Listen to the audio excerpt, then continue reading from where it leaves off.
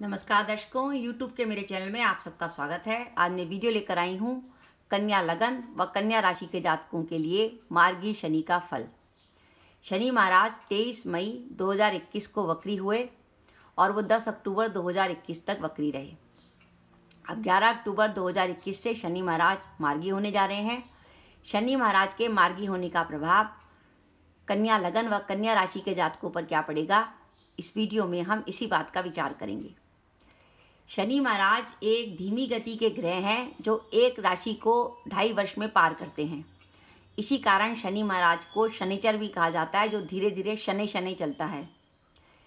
शनि महाराज का धीमी गति से चलने का अर्थ है कि शनि महाराज देरी के प्रतीक हैं, यानी देरी को रिप्रेजेंट करते हैं। यानी कुंडली में अगर कहीं भी शनि महाराज का प्रभाव होगा, किसी भी भाव पर तो उस भाव से जुड़े काम जो हैं, लेट हो जाएँगे। शनि आपके पंचम में होंगे और अगर पंचम में होंगे और किसी पाप ग्रह की दृष्टि से पीड़ित हैं तो या तो संतान नहीं होगी या फिर संतान होने में बहुत अधिक देरी हो जाएगी। सप्तम में शनि है तो विवाह में देरी। भाग्य भाव में शनि है तो भाग्य उदय होने में देरी। दशम भाव में शनि है तो कैरियर में सेटलमेंट लेट होगा। तो इस तरीके से शनि जिस भाव से संबंध रखते हैं, उस भाव से जुड़े काम को लेट कर देते हैं।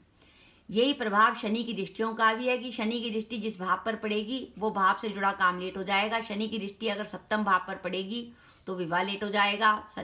पंचम भाव पर पड़ेगी तो संतान लेट हो जाएगी। शनि जैसा ग्रह जो अपनी दृष्टि में और अपनी पोजीशन में इस बात की क्षमता रखता है कि हर काम को लेट कर सकता है। ऐसा ग्रह जब वक्री हो जाता है तो वो और अधिक नेगेटिव हो जाता है, क्योंकि वक्री होने से क्या होता है कि एक ग्रह के वक्री होने से उसे चेष्टा बल मिलता है। चेष्टा बल मिलने से ग्रह जो है बली हो जाता है। कहते हैं, शुभ ग्रह जब वक्री होता है तो उसका शुभ शुभ, शुभत्व बढ़ जाता है। और जब पाप ग्रह वक्री होता है तो उसका पापत्व बढ़ जाता है। यानी पाप ग्रह अगर वक्री होता है तो उसकी नेगेटिविटी बढ़ जाती है। इसी प्रकार, शनि महाराज जब वक्री होते हैं तो उनकी नेगेटिविटी बढ़ती है। और शनि महाराज की नेगेटिविटी बढ़ने का क्या अर्थ है कि शनि महाराज कुंडली में जिस भाव में गोचर कर रहे हैं, उस भाव से रिलेटेड फल लेट करेंगे और शनि महाराज गोचर में जिन भावों को देख रहे हैं, उनसे जुड़ा फल भी लेट आएगा। अब हम देखते हैं कि कन्या लगन व राशि में शनि महाराज किन भावों के स्वामी बनते हैं और किन भावों पर दृष्टि दे रहे थे। वो जिन भावों के स्वामी बनते हैं और जिन भावों पर दृष्टि दे रहे थे, उनसे जुड़ा काम ही लेट हो रहा होगा तेईस मई 2021 से।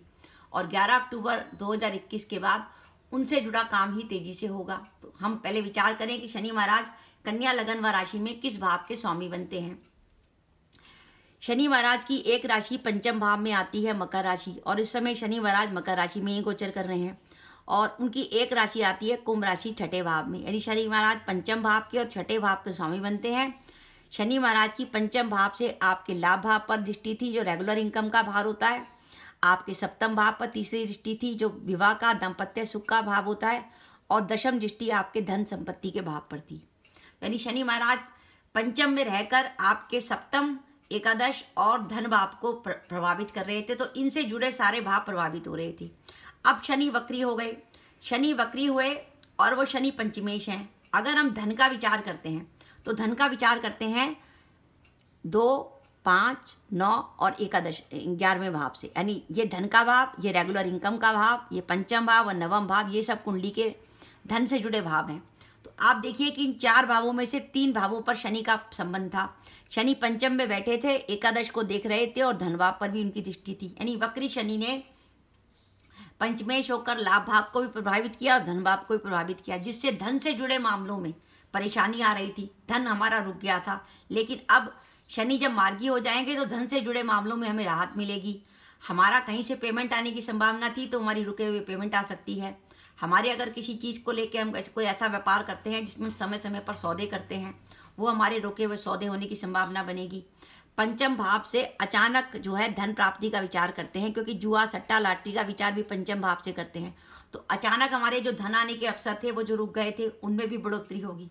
तो इस प्रकार से शनि का मार्गी होना कन्या लगन व राशि के लिए धन के हिसाब से बहुत अधिक शुभ रहेगा। पंचम भाव से विचार करते हैं संतान। अगर पंचमेश वक्री था तो ये तो तय है कि संतान से जुड़ी कोई ना कोई चिंता आपको परेशान कर रही थी तो संतान से जुड़ी आपकी चिंता दूर होगी।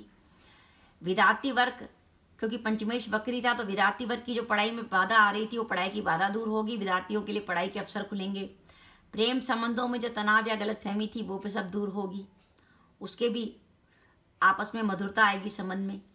और अगर हम बात करें तो पंचम भाव में शनि गोचर कर रहे थे और उनकी सप्तम पर दृष्टि थी। शनि की तीसरी दृष्टि सप्तम भाव पर चल रही थी, जिसके कारण विवाह तय होने में रुकावट आ रही थी तो उसकी भी संभावना बढ़ेगी। अब आपका रिश्ता तय हो सकता है। दाम्पत्य सुख का विचार भी सप्तम भाव से करते हैं। वक्री शनि की दृष्टि जो है, सप्तम भाव पर थी तो जिसके कारण दाम्पत्य जीवन में किसी प्रकार का तनाव या गलत फहमी थी, उससे आपको निजात मिलेगा। शनि की दृष्टि एकादश भाव पे थी और वक्री शनि की, जिससे मित्रों से सहयोग नहीं मिल रहा था तो मित्रों से सहयोग मिलना शुरू हो जाएगा। तो ओवरऑल शनि के मार्गी होने से हमारे काम की जो है बाधाएँ दूर होंगी। शनि पंचम होने के साथ साथ छठे भाव के भी स्वामी हैं तो छठा भाव होता है ऋण रोग शत्रु का, यानी हमारी बीमारियों का भाव छठा होता है। छठे भाव का स्वामी जब षष्टेश बकरी होता है तो हेल्थ से जुड़ी प्रॉब्लम आती है, स्वास्थ्य में कोई परेशानी आती है तो स्वास्थ्य की परेशानी दूर होगी। और हम कोर्ट केसेस का विचार भी छठे भाव से करते हैं। अब छठे भाव का स्वामी जो है बकरी से मार्गी हो गया तो अगर हमारा कोई कोर्ट केस चल रहा है तो अब 11 अक्टूबर 2021 से हमारे कोर्ट से जुड़े मामलों में हमारे लिए राहत का समय है। शनि की दृष्टि कुटुंब भाव पर पड़ रही थी। बकरी शनि की दृष्टि कुटुंब भाव पर पड़ रही थी और शनि जो है पंचम के संग षष्टेश भी है, जिसके कारण कुटुंब में किसी प्रकार का वाद विवाद हो रहा था। लेकिन अब ग्यारह अक्टूबर से कुटुंब में सुख शांति होगी, सदस्यों में आपस में सामंजस्य बढ़ेगा। शनि पंचम में बकरी थे, जिसे चौथे भाव से भी इफ़ेक्ट दे रहे थे, जिसे चौथे भाव से इफ़ेक्ट देने से चौथा भाव हमारा मन का होता है। मन में हमारी बेचैनी थी, मन में चिंता परेशानी थी तो अब शनि मार्गी हो गए तो चौथे भाव से संबंध हट गया। तो मन की चिंता परेशानी दूर होगी। चौथे भाव से माता का विचार करते हैं, शनि का प्रभाव होने से चौथे भाव से माता के स्वास्थ्य में किसी प्रकार की टेंशन थी तो माता के स्वास्थ्य में सुधार होगा। माता की तबीयत जो पहले से खराब चल रही थी, वो ठीक होगी। साथ ही शनि की दृष्टि एकादश भाव पे थी, जो हमारा इच्छा पूर्ति का भाव है। तो हमारी इच्छाओं की पूर्ति होगी और हमारे जो काम रुके थे, उन काम के होने के अवसर आएँगे। तो मेरा ये मानना है कि कन्या लगन व राशि के लिए मार्गी शनि बहुत शुभ रहेंगे। पहले तो वक्री शनि, पंचमेश होकर लाभ व धनभाव पर दृष्टि दे रहा था, जिससे धन से जुड़े मामलों में राहत मिलेगी। रुके हुए धन की प्राप्ति हो सकती है, रुके हुए सौदे हो सकते हैं। मन की बेचैनी में कमी आएगी, माता के स्वास्थ्य में सुधार होगा, इच्छा पूर्ति के अवसर मिलेंगे। काम की बाधा दूर होगी, स्वास्थ्य में सुधार होगा, कोर्ट केस में राहत मिलेगी, कुटुंब में सुख शांति आएगी। ग्यारह अक्टूबर से संतान से जुड़ी चिंता दूर होगी। विद्यार्थी वर्ग के लिए पढ़ाई के अवसर मिलेंगे, प्रेम संबंधों में मधुरता आएगी, विवाह का रिश्ता तय हो सकता है, दाम्पत्य जीवन में तनाव और गलतफहमी दूर होगी और आपको मित्रों से और भाई बंधुओं से सहयोग मिलेगा। तो 11 अक्टूबर से कन्या लगन व कन्या राशि के काम जो पंचमेश और षष्टेश शनि के वक्री होने से धीमे हो गए थे, उन कामों की गति तेज होगी और आपके रुके हुए काम तेज़ी से होंगे। अगर आपका किसी कार्य से संबंधित सौदा होना था तो वो सौदा होने की भी संभावना बढ़ जाएगी, क्योंकि जो धन आने के मार्ग का स्वामी था, वो अपनी वक्री अवस्था में था, जिसके कारण धन आने में रुकावट आ रही थी तो वो रुकावट अब आपकी दूर होगी और आपके पास धन आने के अवसर बनेंगे। तो दर्शकों, ये मेरा वीडियो था। आपको कैसा लगा प्लीज़ कमेंट बॉक्स में कमेंट करके बताइएगा। इसके साथ ही अगर आप मेरे चैनल पर पहली बार आए हैं और आपने मेरा चैनल अभी तक सब्सक्राइब नहीं किया तो कृपया मेरा चैनल सब्सक्राइब कर दें। साथ ही बेलाइकन को भी दबा दें, जिससे जब भी मैं अपने वीडियो अपलोड करूँ, उसके नोटिफिकेशन आपको मिल जाए और आप मेरा वीडियो देख सकें। इसके साथ ही नमस्कार दर्शकों, जय माता दी।